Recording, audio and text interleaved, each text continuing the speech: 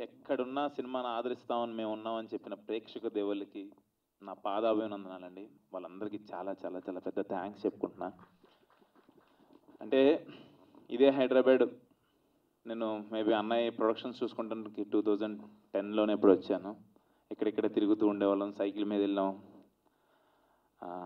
బస్సుల్లో తిరిగే వాళ్ళం ఇవన్నీ తిరుగుతూ సినిమా చేయాలనే ప్యాషన్ ఉండేది. చేసుకుంటూ వచ్చాను బట్ ఒక మాస్ ఇమేజ్ నేనంటూ సాంగ్స్ నన్ను ఎలా రిసీవ్ చేసుకుంటారు ఏంటి అని ఒక భయం ఉండేది. బట్ నాకు చోటా అన్న లాంటి సపోర్టు ఆలి అన్న లాంటి సపోర్టు తర్వాత టెక్నీషియన్స్ అందరూ సపోర్టు దానికి మించి మా అన్నయ్య ఓంకార్ అన్న ఇచ్చిన సపోర్టు అంతా ఇంత కాదు. ఈ సినిమాతో నాకంటూ ఒక మార్కెట్ ఓపెన్ అయిందని నేను అనుకుంటున్నా. మీరు మీరు మీరు మీరు చెప్పాలి. మీడియా మిత్రులు మీరు చెప్పాలి. ఐ హోప్ ఏనా? ఓపెన్ అయిందా నాకు మార్కెట్? థ్యాంక్ యూ అనే థ్యాంక్ యూ ఎందుకంటే ఫస్ట్ నుంచి కూడా మా సినిమాని మీరు జ- ప్రజల్లోకి తీసుకెళ్ళింది మీరే. ప్రతిసారి ప్రతి ప్రెస్ మీట్లో కావచ్చు పేపర్ అన్ని దాంట్లో ప్రతి ఒక్కరిని మమ్మల్ని ఎంకరేజ్ చేసి తీసుకెళ్ళింది మీరే. బట్ నాకు ఒకటే ఒక బాధ ఏంటి అంటే ఒక బుక్ మై షో నాకు యాప్ ఉందండి. అది ఆ యాప్ వచ్చిందే ప్రేక్షకులకు మధ్యకిను సినిమా వాళ్ళకి మధ్యన టికెట్స్ బుక్ చేసుకుంటానికి ఒక యాప్. ఆ యాప్ మన సినిమాని డిసైడ్ చేస్తుందంటే నాకు చాలా బాధేస్తుంది. బుక్ మై షో యాప్ అనేది ఇక్కడ వాళ్ళు కాదు మన వాళ్ళు కాదు. ఎక్కడో ముంబైలోనో ఢిల్లీలోనో ఎక్కడ ఉంటారో కూడా తెలియదు వాళ్ళు. వాళ్ళు జస్ట్ యాప్ పెట్టుకొని మన టికెట్స్ జనాల ద్వారా వాళ్ళు బుకింగ్స్ ద్వారా వాళ్ళకి వచ్చే కమిషన్స్ ఏంటో మనకు తెలియదు ఆ యాప్ మన సినిమాని డిసైడ్ చేస్తుంది. రాజుగారికి త్రీ కాదండి ఏ సినిమా అయినా కూడా. అది ఏంటి అని నాకు లాస్ట్ త్రీ డేస్ నుంచి ఇంత సక్సెస్ అందరు బాగుందంటున్నారు చాలా బాగుందంటున్నారు. ఏ ప్రతి టెక్నీషియన్స్ని ప్రతి ఒక్కరిని ఎంకరేజ్ చేసి ప్రతి ఒక్కరు నాకు కడుపు పని అవుతున్నాం అసలు సీట్లోంచి లెగుస్తున్నాం అసలు తలనొప్పి వచ్చేస్తుంది అంత బాగా కళ్ళంలో నీళ్ళు వస్తున్నాయి అంత బాగా నవ్వుకుంటున్నాం అని చెప్తున్నారు. బట్ ఏంటి పర్సంటేజ్ బుక్ మై షో యాప్లో మీకు సెవెంటీ పర్సెంటే ఉందని క్వశ్చన్ అడిగితే నాకు అసలు అర్థం కాల ఏంటి ఇలా ఎందుకు జరుగుతుంది ఏంటి అని చెప్పి నేను అందరినీ కనుక్కుంటూ అంత ఎంక్వైరీ చేసుకుంటా వెళ్తే నాకు తెలిసింది ఏంటంటే బుక్ మై షోలో యూజర్స్ రేటింగ్ అని ఒకటి ఉంటుందంట. ఆ యూజర్స్ రేటింగ్ ఎవరైతే ప్రేక్షక దేవులు సినిమా చూస్తారో వాళ్ళకి మనసుకు నచ్చింది వేస్తారు. త్రీ రేటింగ్ వేస్తారా ఫైవ్ రేటింగ్ వేస్తారా ఎంత పడితే వాళ్ళు వేస్తారు. అది హ్యాపీ. తర్వాత ఇంకొక అది అందులో నుంచి తీసుకునేది ఫిఫ్టీ పర్సెంట్ తీసుకుంటారంట. సెకండ్ థింగ్ దీంట్లో క్రిటిక్స్ రేటింగ్ ఉంటుందంట. ఆ క్రిటిక్స్ రేటింగ్ వచ్చేసి ఒక ఫిఫ్టీ పర్సెంట్ తీసుకుంటారంట. ఈ రెండు కలిపి ఒక పర్సంటేజ్ క్రియేట్ చేస్తారంట. మా బ్యాడ్ లక్కో మా సినిమా బ్యాడ్ లక్కో తెలియదు కానీ బుక్ మై షో వాళ్ళు ఈసారి చేసింది క్రిటిక్స్లో నుంచి ఓన్లీ నెగిటివ్ ఫీడ్బ్యాకే మాది పెట్టాల్సి వచ్చింది మరి ఎలా చేశారో తెలియదు ఓన్లీ నెగిటివ్ ఫీడ్బ్యాకే వచ్చింది అందులో. పాజిటివ్ రివ్యూస్ రాసిన వాళ్ళది ఒక్కటి కూడా పడలా మాకు.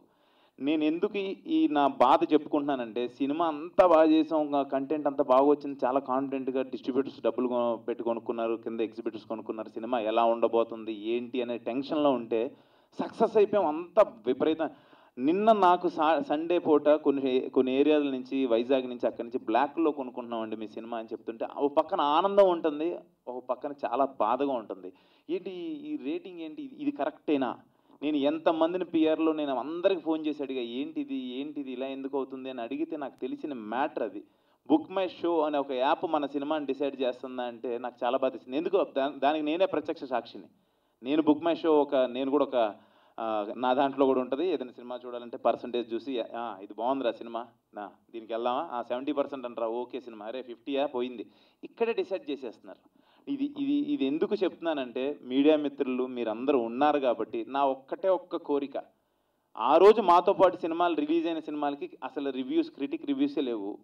మా సినిమాకి క్రిటిక్స్ రివ్యూస్ ఇవ్వడంలో తప్పలేదు ఎవరిష్టం వాళ్ళది సినిమా చూసిన వాళ్ళు ఎలానే ఇస్తారు బట్ అందులో పాజిటివ్ క్రిటిక్ రివ్యూస్ మా మా పెట్టలేదు బుక్ మై షో వాళ్ళు. దానివల్ల ఆ పర్సంటేజ్ డిఫరెన్స్ వచ్చిందని చెప్పి అందరు చెప్తుంటే మీకు ఎందుకన్నా మేమున్నామన్నా మేము ఇస్తామన్నా పాజిటివ్ రివ్యూస్ అని అందరూ మాట్లాడుతుంటే ఆనందంగా ఉంది కానీ ఈ కలెక్షన్స్ ఈ నెంబర్స్ అవి చూస్తుంటే ఇది నా సినిమా అయినా ఆనందంగా ఉంది కానీ ఒక పక్కన చాలా చాలా చాలా బాధపడుతున్నా. మీ అందరికీ మీ కాళ్ళకి నమస్కారం పెడతా మీడియా మిత్రులందరికీ. ఒక్క త్రీ డేస్ వరకు ఆ బుక్ మై షో వాళ్ళకి చెప్పండి.